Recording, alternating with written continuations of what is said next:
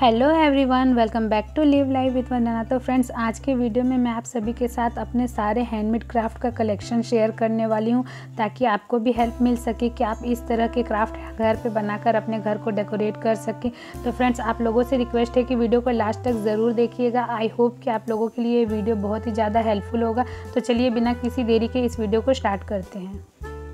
सबसे पहले स्टार्ट करते हैं खूबसूरत सा वॉल डेकोर जिसे कि मैंने मिरर और कोन लाइनर का यूज़ करके बनाया है। फिर नेक्स्ट मैंने ये खूबसूरत सा लिपन आर्ट बनाया है और इन सभी का वीडियोस आपको मेरे चैनल पर मिल जाएगा और ये बहुत ही ज़्यादा इजी टू मेक है। नेक्स्ट हम चलते हैं ये खूबसूरत सा क्विलिंग आर्ट जो कि मेरा फेवरेट है।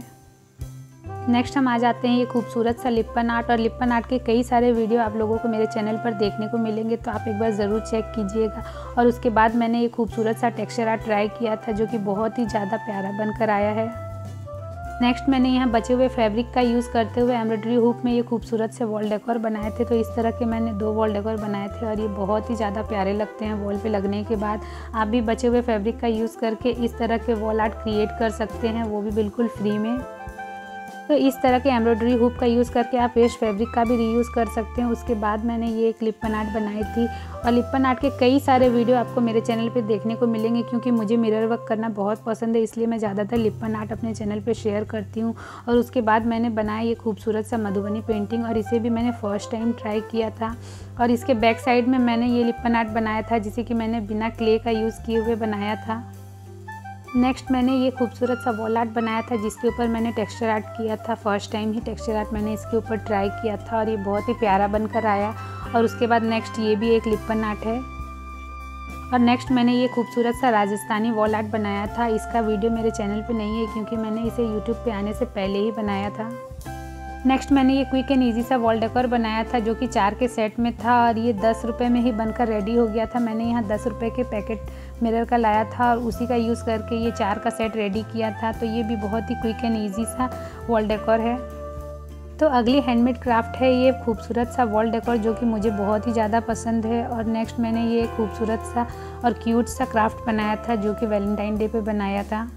नेक्स्ट है ये किचन डेकोर उसके बाद हम आ जाते हैं इस तरह की वॉल हैंगिंग का. तो इसे मैंने पिछले साल दिवाली पर बनाया था और ये बहुत ही ज़्यादा प्यारा लगता है और इसे मैंने वेस्ट न्यूज़पेपर का यूज़ करके बनाया था.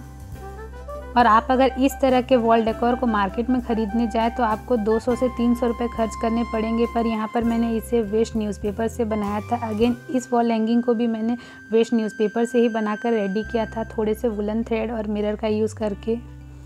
नेक्स्ट है ये काइट वॉल डेकोर इस तरह के वॉल डेकोर वगैरह आजकल काफ़ी ज़्यादा ट्रेंड में है और इसे भी मैंने वुलन थ्रेड की हेल्प से बनाया था बिल्कुल फ्री ऑफ़ कॉस्ट में। अगेन मैंने एक खूबसूरत सा वॉल हैंगिंग का सेट बनाया था और इसे भी मैंने वेस्ट न्यूज़पेपर का यूज़ करके बनाया था। इस तरह के ट्रेडिशनल वॉल हैंगिंग दिवाली के टाइम में काफ़ी ज़्यादा अच्छे लगते हैं घर में सजाने के लिए। नेक्स्ट मैंने ये डेकोरेटिव ट्रे बनाया था, जिसे कि आप वॉल डेकोर की तरह भी यूज़ कर सकते हैं। और उसके बाद मैंने ये घर में पड़े पुराने जो बाँस के पंखे होते हैं, उसका यूज़ करके खूबसूरत सा वॉल डेकोर क्रिएट किया था, जिसे कि हम दोनों तरफ़ से यूज़ कर सकते हैं। तो इस तरह के बाँस के पंखे मेरे पास पड़े थे तो मैंने इस तरह से इसे रीयूज़ कर लिया। नेक्स्ट मैंने यहाँ पर ये बनाया खूबसूरत सा डॉट मंडाला और इसे भी मैंने फ़र्स्ट टाइम ही ट्राई किया था, और ये बहुत ही ज़्यादा प्यारा लगता है। नेक्स्ट मैंने ये खूबसूरत सा गोंड आर्ट बनाया था और इसे भी मैंने फ़र्स्ट टाइम ही ट्राई किया था। नेक्स्ट है ये खूबसूरत सा वॉल डेकोर जो कि मेरा फेवरेट है। मेरे जितने भी क्राफ्ट है, मुझे उसमें सबसे ज़्यादा पसंद यही वाला क्राफ्ट है। नेक्स्ट मैंने यहाँ पर मिरर का यूज़ करके ये तीन का सेट बनाया था और ये वॉल डेकोर बहुत ही ज़्यादा प्यारा लगता है। और ये वॉल डेकोर बहुत ही क्विक एंड ईजी सा है ताकि इसे आप आसानी से 10-15 मिनट में बनाकर रेडी कर सकते हैं। और इसे मैंने दो साल पहले दिवाली के टाइम पर बनाया था। मेरे घर में ये आज भी ऐसे ही लगा हुआ है और नेक्स्ट मैंने ये दिया एक लिया था जिसे कि मैंने खुद ही पेंट करके डेकोरेट किया था।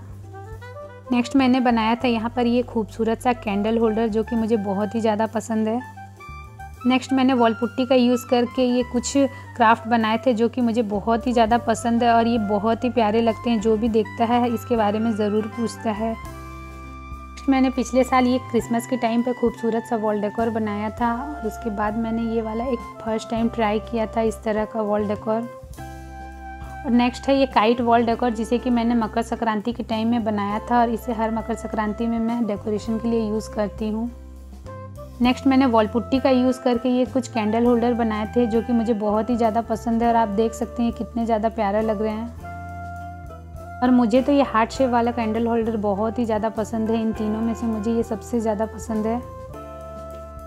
तो जब कभी भी वॉल पुट्टी का यूज़ करके मैं कोई भी क्राफ्ट बनाती हूँ और वो बच जाता है तो मैं कुछ इसी तरह से कुछ ना कुछ अलग चीज़ बनाकर उसे रख लेती हूँ। नेक्स्ट है हमारे पास ये खूबसूरत सा सूब लाभ वाला वॉल हैंगिंग इसमें हम दिया वगैरह भी जला सकते हैं वॉल में हैंग करने के बाद। और पिछले साल मैंने ये खूबसूरत सा लक्ष्मी चरण वाला रंगोली बनाया था, जिसे कि हम रंगोली के लिए यूज़ कर सकते हैं। और नेक्स्ट है ये खूबसूरत सा ऑर्गेनाइज़र जिसे कि मैंने एमसिल का यूज़ करके बनाया था। और लास्ट में मैंने ये खूबसूरत सा एक कैंडल होल्डर बनाया था, जिसे कि मैंने वेस्ट कूलर से बनाया था। तो आज के मेरे सारे क्राफ्ट यहीं तक थे। वैसे मैंने आप लोगों के साथ आज जितने भी क्राफ्ट शेयर किए हैं, सभी हैंडमेड हैं और ये सभी मेरे क्राफ्ट कलेक्शन में से बस 25 परसेंट ही है। बाकी के क्राफ्ट कलेक्शन अगर मैं आप लोगों को दिखाने लगूँ तो ये वीडियो काफ़ी ज़्यादा लंबा हो जाएगा। इसलिए मैं सोच रही हूँ, क्यों ना इसका अलग अलग पार्ट बनाकर आप लोगों के साथ शेयर किया जाए। तो फ्रेंड्स आप लोगों को आज का ये वीडियो अगर पसंद आया तो प्लीज़ वीडियो को लाइक शेयर ज़रूर कीजिएगा। और साथ ही अगर आप मेरे चैनल को फ़र्स्ट टाइम देख रहे हैं तो प्लीज़ चैनल को भी सब्सक्राइब ज़रूर कर लें। और अगर आप लोग इसका नेक्स्ट पार्ट देखना चाहते हैं तो प्लीज़ मुझे कमेंट सेक्शन में ज़रूर बताइएगा। तो यहाँ पर मैंने जितने भी हैंडमेड क्राफ्ट शेयर किए हैं, इन सभी का वीडियो मेरे चैनल पर है, आप लोग एक बार चेक ज़रूर कीजिएगा। तो आज के इस वीडियो को हम यहीं पर एंड करते हैं और मिलते हैं किसी नए और इंटरेस्टिंग वीडियो के साथ। तब तक के लिए खुश रहें और अपना ख्याल रखें। Bye bye